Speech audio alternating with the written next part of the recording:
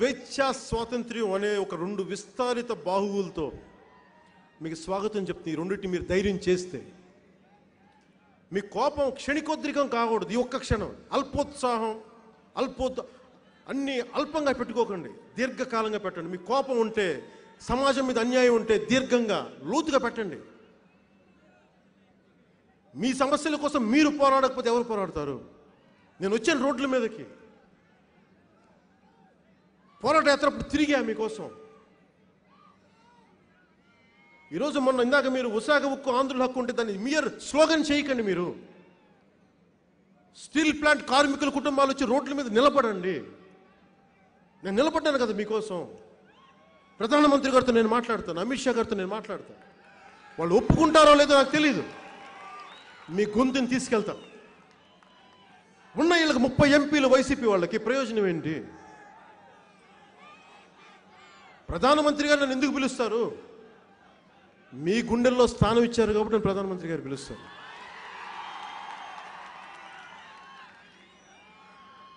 నేను వాళ్ళు చెప్తా. రాష్ట్రాన్ని బాగు చేయండి అనే కోరుకున్నాను అంత మించి ఇంకా కోరుకోవాలి రాష్ట్రానికి స్టెబిలిటీ ఇవ్వండి. మీరు కనుక నన్ను అధికారంలో ఇంత పాటి పిసరంతా పట్టుమని పది మంది ఎమ్మెల్యేలు ఇచ్చుంటే నేను మీకోసం చాలా బలంగా సభల్లో పోరాడేవాడిని. ఇవ్వలేదు కాబట్టి నేను ఈరోజు నా ప్రజాక్షేత్రంలో పోరాడుతున్నాను. నాకు రెండు ఒకటే. అదైతే మీకు ఫలితాలు తేగలను. ఇదైతే పోరాటం చేయగలను. ఫలితాలు ఇచ్చేది పోరాటం నాకు ఇవ్వండి నాకు అవకాశం. ఎందుకంటే మీకోసం పడేవాడు ఎవడుంటాడు? ఓడిపోయిన తర్వాత నేను ఎలా కించపరుస్తారో తెలుసు కదా మీకు. రెండు చోట్ల ఓడిపోయినాడు. డైమండ్ రాణి ఆ రోజా కూడా మాట్లాడద్దు. వాళ్ళు కూడా యూట్యూ నువ్వు కూడానా? నువ్వు కూడానా? ఛీ నా బతుకు చెడ.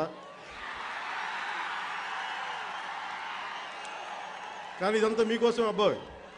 నా కోసమే లేదు. మీకోసమే. మీకోసం డైమండ్ రాణిల చేత కూడా తిట్టించుకుంటాం నాకు ఓకే. ఇంకా సంబరాలు రాంబాబుల గురించి మీకు తెలిసిందే. మీరు ఒకటే గుర్తుపెట్టుకోండి. ఎవరో వస్తారు మంచి రోజులు తెస్తారని మర్చిపోకండి. ఎవడు రాడు మీరే నిలబడాలి. మీకు నిలబడే వాళ్ళకి మీరు నిలబడాలి. మంచి రోజులు వస్తాయంటే మంచి రోజులు వాళ్ళకి వచ్చినాయి. మట్టి కుండలు మనకి ఇచ్చారు. గతంలో ప్రభుత్వాలు కొంచెం కనీసం మట్టి మశానం ఉన్నా మనకు వదిలే- వదిలే. వీళ్ళు మట్టి ఇసుతో పడగట్టి తినేశారు వీళ్ళు.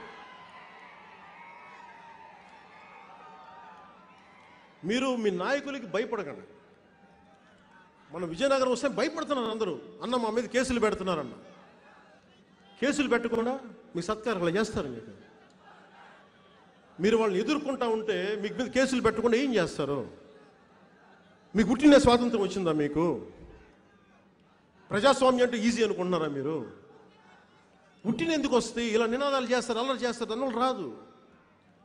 జైలుకి వెళ్ళండి. నేను నేను వెళ్తా. నన్ను తిడితే నేను భరించట్లా? భీమ్లా నాయక్ రిలీజ్ ఆపితే ముప్పై కోట్లు పోతే భరించలా? ఓకేనా? నాకు ఓకే. ఆ జైల్లో పెడతానంటే ఉండలా? అక్కడ తిట్టి తిట్టించుకున్నాను తిట్టించుకున్నాను కదా. చెయ్యని తప్పుకి ఎస్పీ కూర్చోబెట్టి ఇలా కూర్చోబెట్టి అంటే భరించలా? భరిస్తాం. దేనికి అంటే స్వాతంత్రం నా జన్మ హక్కు. ప్రజాస్వామ్యం నాది. నేను ఈ దేశంలో పౌరుణ్ణి. నువ్వు ముఖ్యమంత్రి అయితే నేను సామాన్యుని మూసుకొని కూర్చో. మూసు కూర్చో